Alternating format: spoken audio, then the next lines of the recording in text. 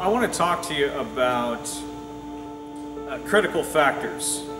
And uh, one of those critical factors would be um, cutting through the racket. Let's say you're trying to get a job interview and you're trying to get a, a, an interview and you want to sit down with upper management or even the CEO of a company. But there's like, you know, a hundred other applicants that are out there. You got a hundred people that you believe that you're competing with. You are not competing with job applicants. I just want you to know that. You are competing with racket. Okay? You are competing with excruciating noise that's out there. And you got to find a way to cut through all that. You got to find a way that's going to get their attention. I'll give you an example, a real real time example that I just I just had a conversation last week with a with a young kid. He's in his 20s, and um, he said, you know, I've been trying to apply at this company and and that company, and um, and I said, well, you know, how's it going? And he said, well, you know, um, I, I put my application in and my resume, and I, I hope they got it. You know, I, maybe I got to send my, you know, and he says, well, maybe I got to send my resume in again. And I said, uh, send your resume in again. I said, no, no, no. Let me tell you what you do. Let, let me tell you what you should do. And let me tell you what's going to be real beneficial for you.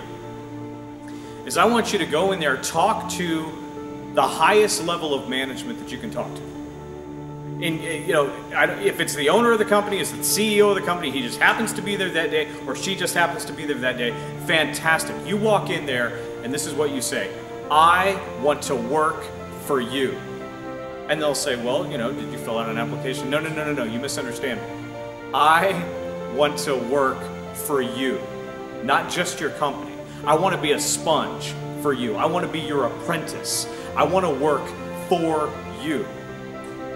And this is what I bring to the table. See, now all of a sudden you've cut through the racket and this excruciating noise that's out there. And now you've got his attention or her attention.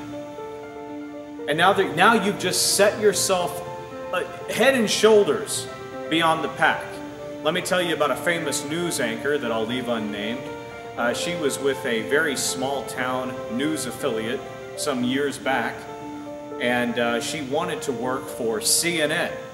But you can imagine, as a, as a journalist, all the hundreds and hundreds of applicants, applications that CNN probably goes through and resumes that they probably go through with all these kids that are coming out of school, getting out of school, and they want to go work for CNN.